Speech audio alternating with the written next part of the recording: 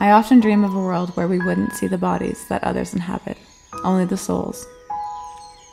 Our feelings would be our only guide to find our purpose in life. There's no speaking, with no words to hurt, being replaced with colors to communicate through. Instead of listening, we would feel the sounds of the ocean waves and the colors of the soft blue sky, or the bright orange sun that fills our souls, guiding us through the days. In this world, we can see the colors of each other's souls shining in the distance, connecting us to one another instantly. Our souls would be visible through our transparent human shells, radiating vibrant or dark colors based on our feelings.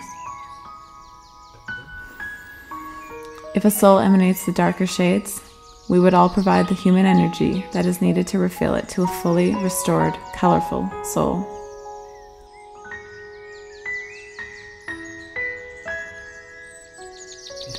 I believe this world that I imagine is not just in my head.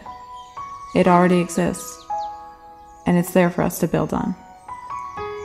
We need to allow ourselves to drown in the colors of each other's souls and let the colors run through our veins, filling us inside with how each other feels, digging deep and enabling us to discover who we are and our purpose in life. We are more than our bodies and more than our minds. The appearance we possess won't give us meaning to our existence. There is a bigger purpose for us to be here, and its discovery is our responsibility.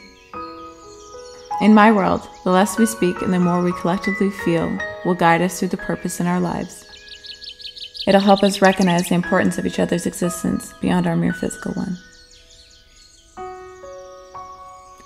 Love and light, Elly Mayday.